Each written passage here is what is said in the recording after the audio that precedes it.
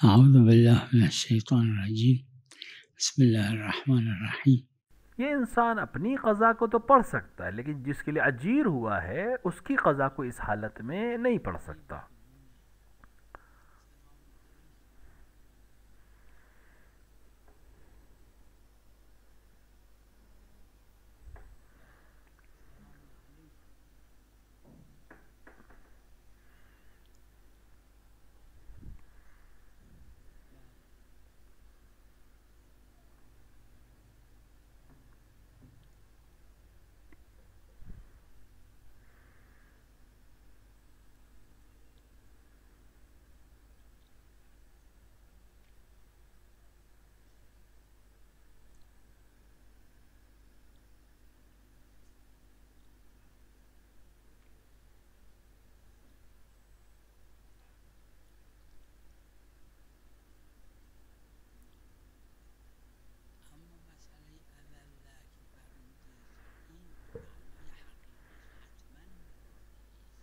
یہ جو آپ پوچھ رہے ہیں اضلہ یہ اس پہ حقیقی معنی میں نہیں ہے۔ کیونکہ قرآن کریم میں احد بن رسول اس طرح کی جو روایات جو آئی ہیں کہ اسلام قبول کو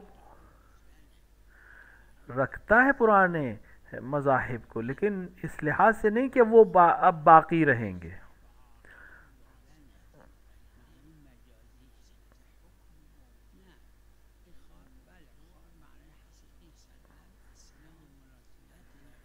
کیونکہ یہ بالکل مسلم ہے کہ اسلام نے قبلی ادیان کو مذاہب کو قبول کیا، لیکن اب اسلام کے آنے کے بعد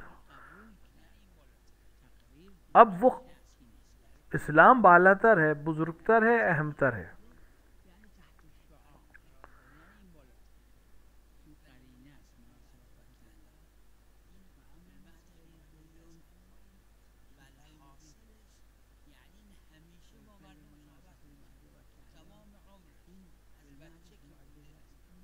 یہ جو مثال دی ہے قرآن نے من المحد الکحلہ یعنی ہمیشہ لوگوں کے درمیان خطاب میں تھے۔ جناب عیسیٰ علیہ نبی علیہ صلاۃ والسلام یعنی ایسے پیغمبر ہیں جو گہوارے سے لے کر اپنے آسمان جانے تک یا بڑے ہونے تک مسلسل لوگوں سے رابطے میں تھے۔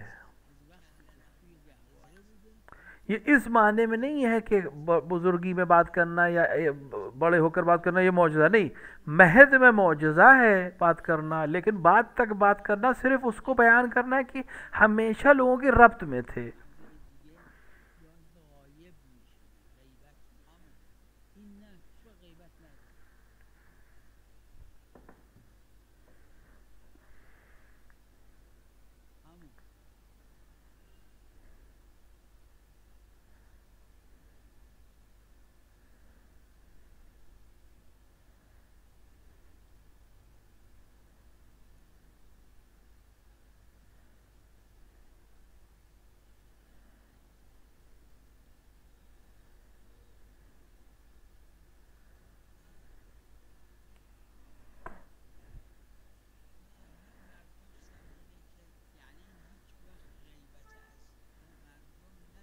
میرا نظریہ یہ ہے کہ میرا میں جو سمجھاؤں اس آیت سے وہ یہ کہ یہ کبھی بھی لوگوں سے دور نہیں تھے۔ جیسے بہت سے پیغمبر و انبیاء ایسے تھے جو لوگوں سے بات نہیں کرتے تھے، لوگوں سے دور رہتے تھے۔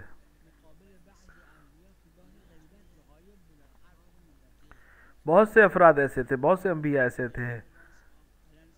جیسے خود پیغمبر اکرم چالیس دن لوگوں کے درمیان سے چلے گئے نہیں بات کی۔ چالیس دن تک الگ ہو گئے، مثلا۔ تو انبیاء میں سسٹم تھا۔ میرا نظریہ اس آیت کے نظر میں یہ کہ جناب عیسیٰ کبھی جدا نہیں ہوئے۔ یعنی ہمیشہ لوگوں کے درمیان تھے۔ یہ کبھی غیبت میں نہیں گئے۔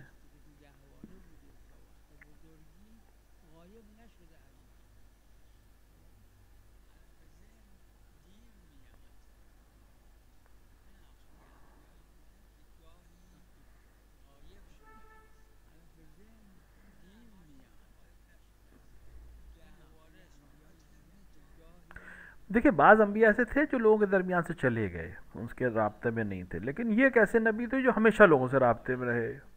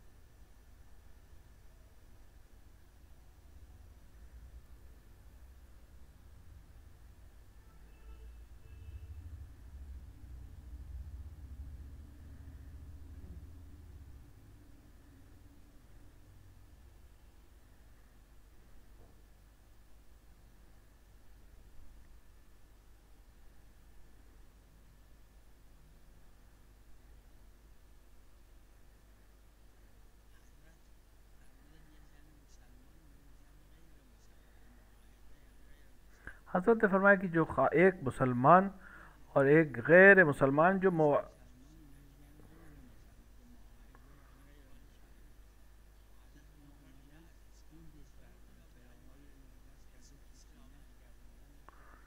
کہ اگر ایک خاتون کی گردن بند کو نکال لیا جائے کان سے اس کے جھمکوں کے لیے، حضرت حضرت نے فرمایا کہ جو چاہے یہ مسلمان خاتون ہو، چاہے غیر مسلمان خاتون ہو، لیکن مسلمانوں کے ذمے پہ ہو یہ جائز نہیں ہے کہ اسلام کے نام کی ان کے زیور کو اتار لیا جائے۔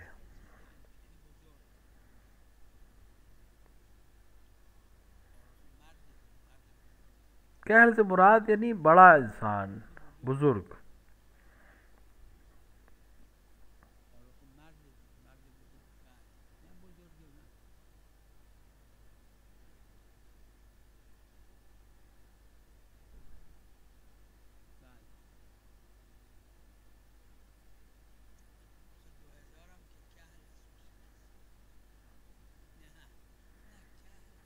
دیکھیں دو ہزار سال سن کہل کے لیے نہیں ہے۔ کہل سے مراد بڑا انسان۔ ایک ایسا مرد جو بوڑھے کو نہیں کہتے انسان جو بزرگ ہو۔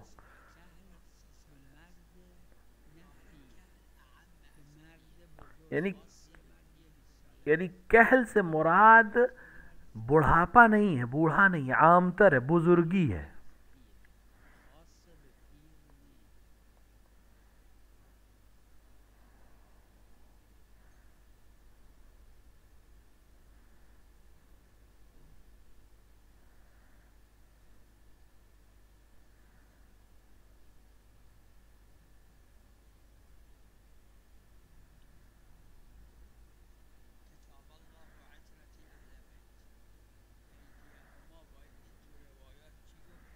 دیکھیے، کتاب اللہ و عطرتی اہل بیتی ہمیں دیکھنا پڑے گا روایات میں عہدیہما سے مراد کیا ہے۔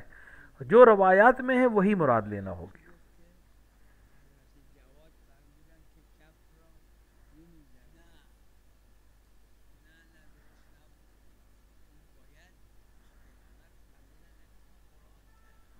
کیونکہ پیغمبر نہیں کہ صرف اکیلے قرآن، کتاب اللہ و عطرتی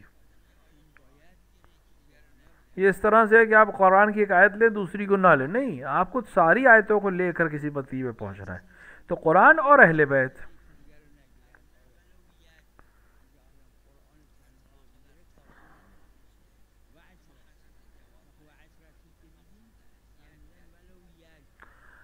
اب حضرت نے جب ید کی بات کی اور اس آیت کی بات کی تو فرمایا کہ ولو ید سے مراد پورا ہاتھ ہے، لیکن اس آیت میں حکم میں ید سے مراد چار انگلیاں ہیں۔ کیونکہ پیغمبر نے فرمایا، قرآن کتاب اللہ وہ عطرت تھی، تو جب عطرت نے قرآن کی یہ تفسیر کی تو ہمیں اسی کو قبول کرنا ہے۔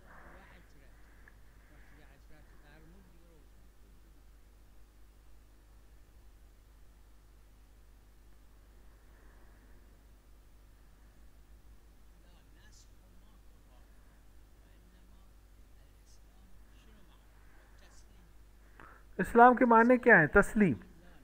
اللہ کے سامنے تسلیم ہونا۔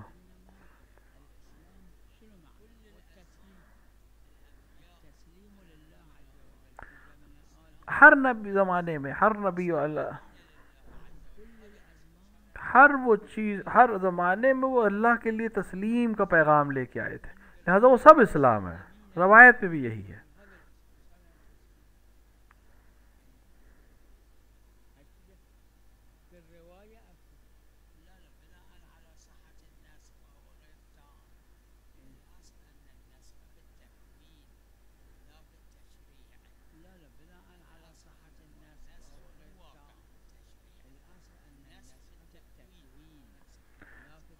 یہ جو نسخ ہے، یہ تکوین میں ہے، تشریح میں نہیں ہے۔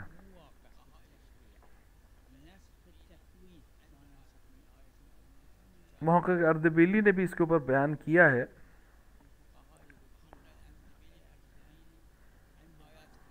آیات الاحکام میں۔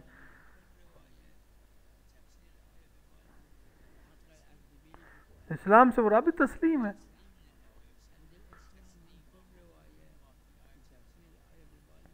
وہ سلب تسلیمہ جو آیت کی میں اشارہ یعنی تسلیم ہو جانا خدا کے سامنے۔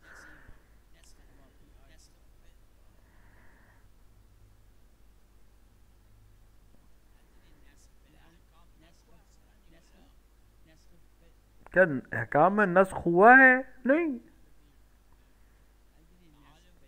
معالم میں ہے، غیر معالم میں بھی ہے۔ کہ نہیں ہوا ہے؟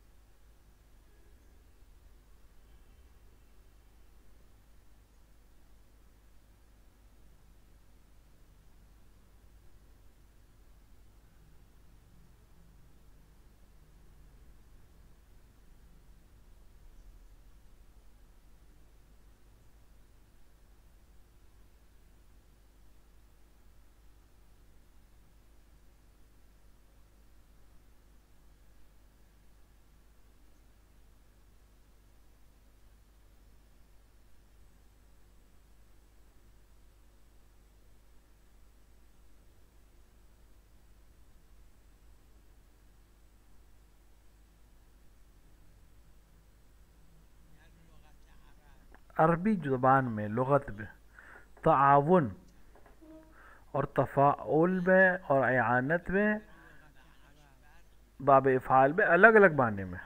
تعاون یعنی اس کا مطلب ہے دو لوگ، تین لوگ، چار لوگ مل کر ایک کام انجام دیں۔ اگر دو لوگ مل کر کوئی خیر کو انجام دیں، دو آدمی، چار آدمی، دس آدمی، یہ تعاون یا تعاون خیر پر یا برائی پہ خدا نہ خواستہ یہی مل کر ایک آدمی کو قتل کیا، برا کیا امید یہ تعاون ہے۔ اعانت کا مطلب ہے کوئی انسان کوئی کام انجام دے رہا ہے، یہ صرف اس کی مدد کرتا ہے۔ تعاون میں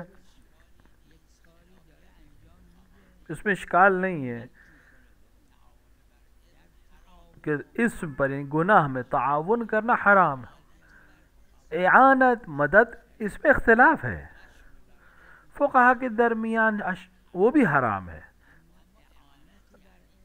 لیکن اعانت کسے کہتے ہیں؟ مدد کسے کہتے ہیں؟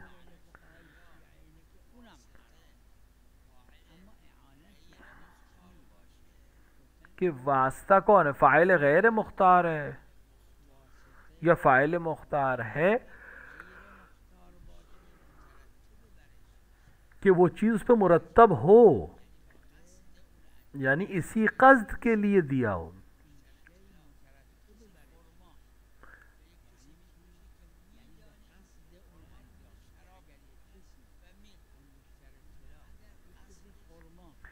اگر مثال کے طور پہ ایک انسان کسی کو کو خورما بیچے، مثلا اور جانتا ہے کہ یہ اس سے شراب بنائے گا اور پیے گا اور اس کے باوجود اسی لیے بیچے کہ یہ کام کرے یہ حرام ہے۔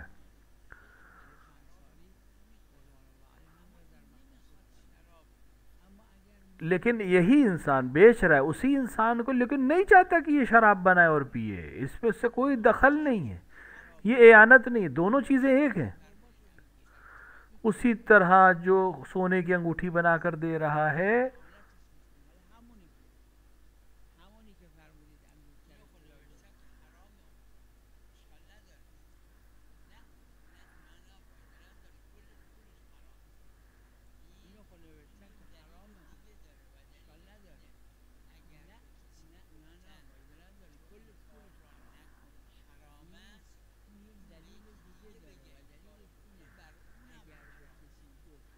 اگر کوئی انسان کسی سے کوئی کام کہے کہ تم نہ کرنا حرام ہے تو یا کسی دوسرے سے کرے تب بھی حرام ہے۔ تو وہ ایک دوسری دلیل کی وجہ سے حرام ہے۔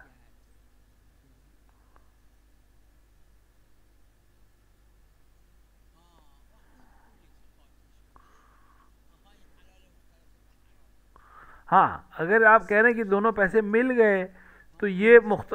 حلام و حلال مخلوط ہو گیا۔ اس پہ تین شرط کے ساتھ یہ حلال ہو سکتا ہے۔ کہ جن افراد سے پیسے لے ان کو نہ جانتا ہو، پہلی بات۔ دو، مقدار جو حرام کی ہے، وہ حلال اور اس پہ کتنی ہے۔ نہیں جانتا کہ ایک بٹا پانچ اس میں حرام ہے، ایک بٹا چھ حرام ہے، ایک بٹا سات، یہ تو شرط۔ نہیں جانتا مقدار۔ تیسری شرط یہ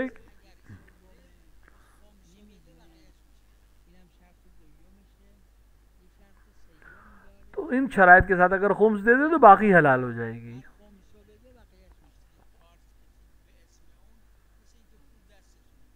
فرق نہیں پڑتا کارڈ سے کرے یا کسی جیسے اس کے نام سے کارڈ سے سوائپ کیا تب بھی اسی حکم میں کہ جیسے پیسے دیے اسے۔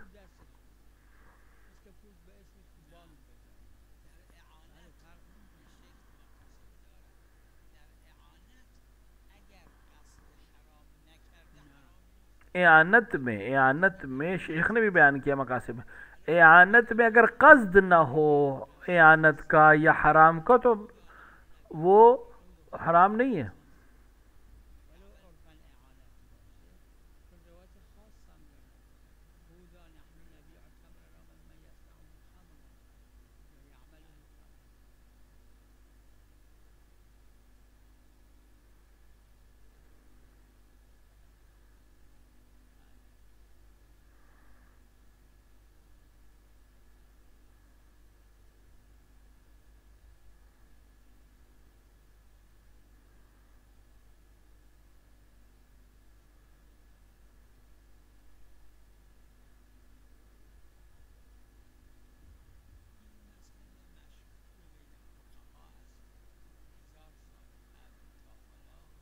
یہ فقہا کے درمیان مشہور ہے مسئلہ کہ اس خاتون کی جو آواز ہے وہ خود حرام نہیں ہے۔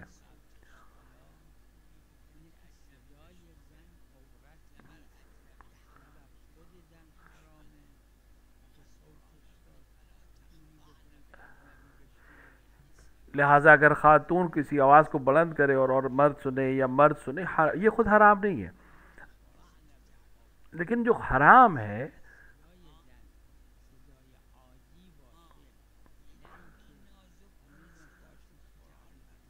کہ اس طرح سے آواز بنائے کہ وہ اپنی آواز سے متاثر کرے۔ جیسے فارسی میں نازک کرنا آواز کو، سریلی کرنا۔ یعنی اس طرح سے کہ شہوت انگیز ہو جائے وہ آواز، یہ حرام ہے اور اس کا مرد کو سننا بھی حرام ہے۔ یعنی اس خاتون کے لیے اس طرح کی آواز نکالنا حرام ہے، مرد کے لیے یعنی خود یہ عمل حرام ہے۔ ہاں مکرو ہے۔ خاتون اپنے کیونکہ عورتیں پیغمبر کے پاس آتی تھیں، بات کرتی تھیں پیغمبر سے بات کرتے تھے، جواب دیتے تھے۔ آئمہ کے پاس آتی تھیں، بات کرتی تھیں۔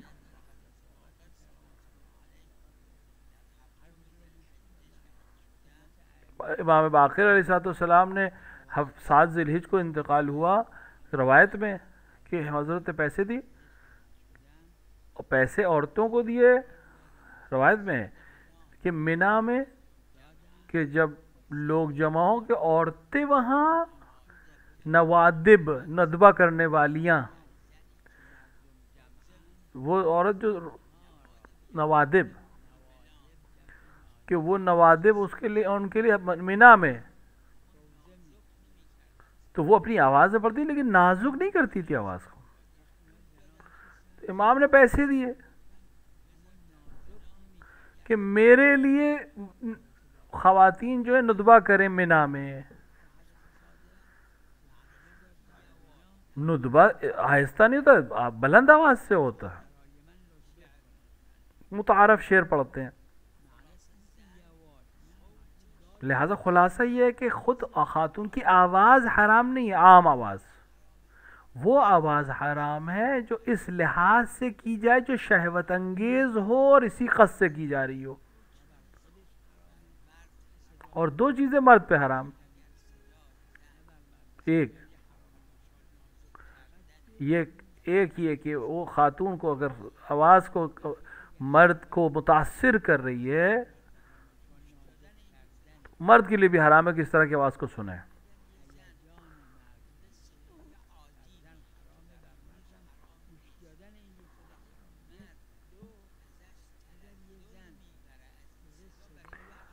ہاں اب اگر ایک خاتون عام آواز میں بات کر رہی ہے، جو خود آج خاتون کے لیے حرام نہیں، لیکن یہ مرد اس سے لذت حاصل کر رہا ہے تلزز شہوت انگیز لذت حاصل کر رہا ہے، تو یہ حرام ہے۔ مرد کے لیے حرام ہے۔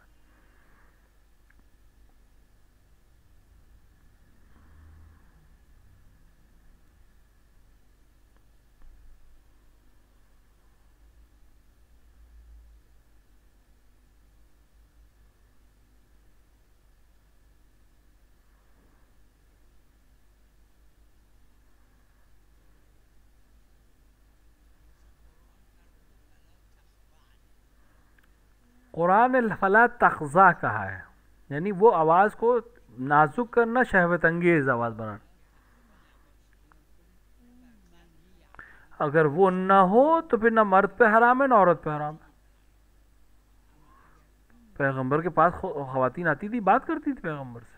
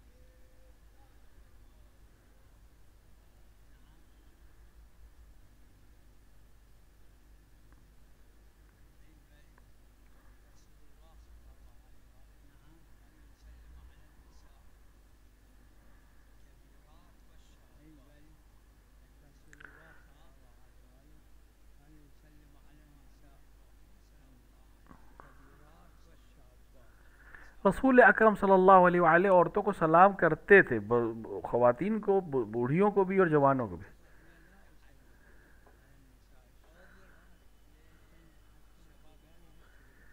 لیکن امیر المین صاحب السلام سے روایت ہے کہ وہ یہ عمل نہیں کرتے تھے اور کہتے تھے میں یہ عمل اس لیے نہیں کرتا ہوں تاکہ یہ بہانہ نہ بن جائے دوسرے جوانوں کے لیے۔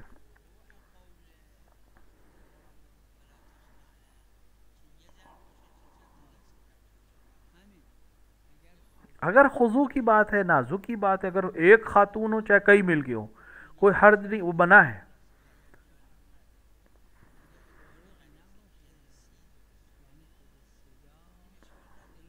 ہاں لیکن اگر ایسی آواز نکال رہی، جس سے غریض جنسی نہ ہو، تحریک نہ ہو، تو ایک ہو یا کئی ہو، مل کر بھی کوئی حرج نہیں ہے۔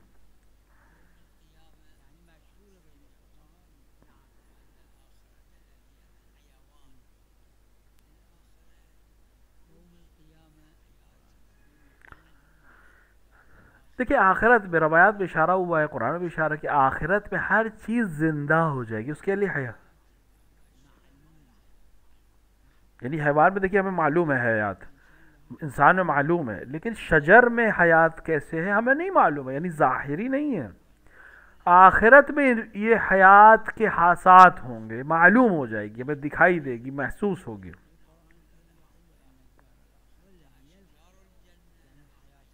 تو جہنم کی آگ اعظم باللہ اس میں بھی حیات ہے اور جنت کے پیڑوں میں بھی حیات ہے۔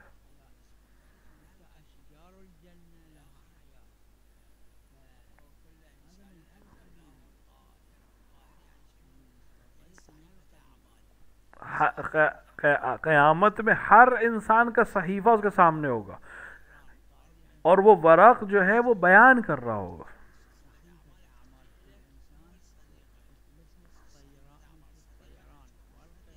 تو صحیف عمل جو تمہارے پاس آئے گا۔ آپ کا عمل آپ کے سامنے آئے گا، دوسرے کا عمل اس کے سامنے۔ یہ صحیف اعمال کی بات ہو رہی جو اعمال انجام دیے ہیں دنیا میں۔